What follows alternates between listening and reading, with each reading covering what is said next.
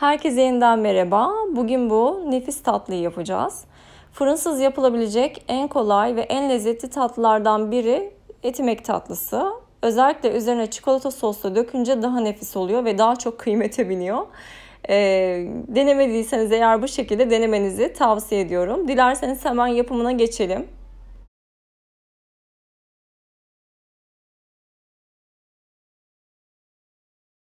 Öncelikle şerbetimi hazırlıyorum. Bunun için uygun bir tencereye 1,5 su bardağı toz şekerimi ekliyorum ve ocağa alıp karamelize ediyorum. Karamelize etmek nedir? Ocağı kısık ateşe getiriyoruz ve kahverengileşmeye başlıyor şeker. Sonrasında şeker iyice eriyince ocaktan alıyoruz.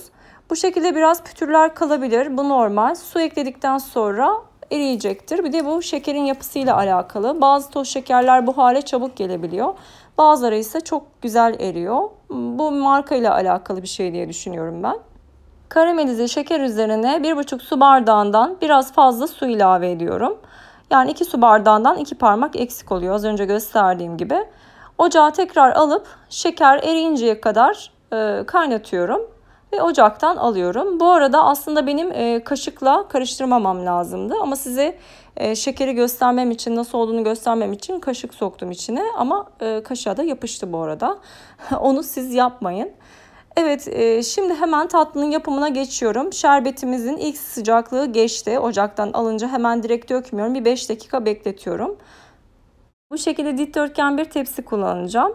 Dikdörtgen borcam da kullanabilirsiniz ya da kare olanını kullanabilirsiniz. Yalnız o zaman 2-3 tane etimek artıyor. Yani bu sığdırma yeteneğinize bağlı. bu tepsiyi kullandığımda da benden bir tane artıyor.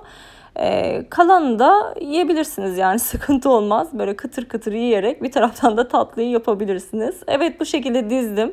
Gördüğünüz gibi e, kenarlara da parçalar koydum. Şerbetimi sıcak halde etimeklerin üzerine bu şekilde gezdiriyorum. Kuru olan her tarafına gelmesini sağlıyorum.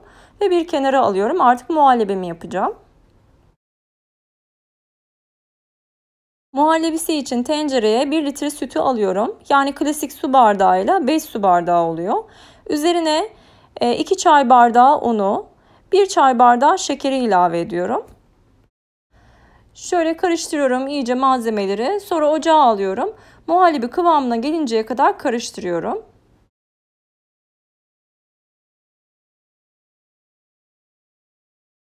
Koyulaştı, muhallebi kıvamına geldi. Şimdi sıcakken içine 2 yemek kaşığı tereyağı ve 1 paket vanilyayı ekliyorum.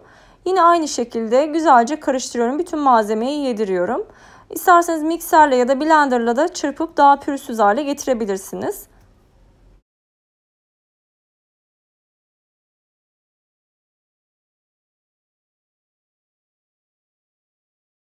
Soğumuş ve şerbetini çekmiş olan etimeklerin üzerine muhallebiyi döküyorum ve eşit şekilde yayıyorum. Oda sıcaklığına geldikten sonra iyice soğuması için buzdolabına kaldırıyorum. Çünkü üzerine krem şanti süreceğim. Ee, bu yüzden iyice donması, e, soğuması gerekiyor. Krem şantiyi paketin üzerinde yazdığı gibi hazırlıyorum. Bir su bardağı soğuk süte bir poşet krem şantiyi ekliyorum ve e, mikserle iyice köpürünceye, koyulaşıncaya kadar çırpıyorum.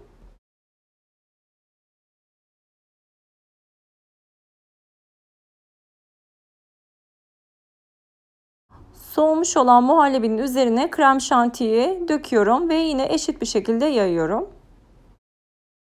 Videonun bu bölümüne kadar izlediyseniz yoruma bir kalp ya da herhangi bir şey yazabilirsiniz. Eleştirilerinizi de yazabilirsiniz. Ben de bu şekilde izlediğinizi anlamış oluyorum. Hem de yorumlarınız, beğenileriniz bu videoların devamlı için önemli. Tekrar tekrar belirtiyorum.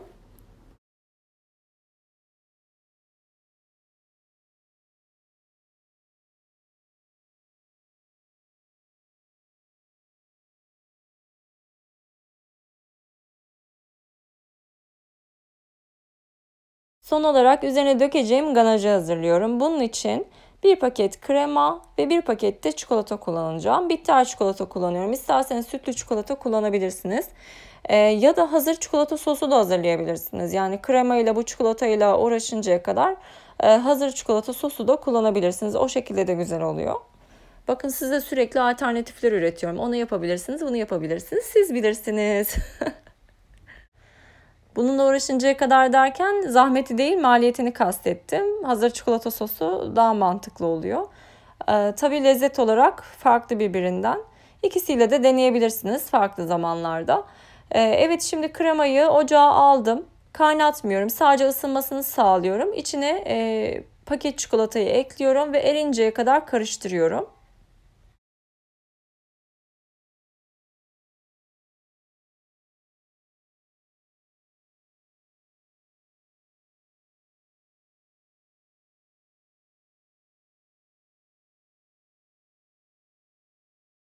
Krem şantiyi sürdükten sonra tatlımı buzdolabına kaldırmıştım.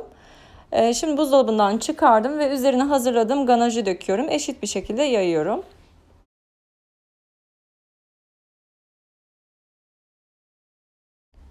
Şimdi çikolatanın tamamen dolması için buzdolabına tekrar kaldırıyorum ve en az 20 saat kadar bekletiyorum. Aslında ben e, bunu bir gece öncesinden yapıyorum. Yani akşamdan hazırlayıp ertesi günü öğlen e, dilimleyip servis ediyorum ya da sabah hazırlayıp akşama servis ediyorum. Yani ne kadar çok dinlenirse tatlınız o kadar güzel olur. Eşit şekilde kesebilmek için önce hedef aldım, işaretledim ve sonra kesmeye başladım. Siz de bu şekilde yaparsanız düzgün bir şekilde kesmiş olursunuz. Bıçakla her geçişimde peçeteyle siliyorum ki alt tarafına çikolata bulaşmasın. Bu şekilde dilimler daha düzgün görünüyor.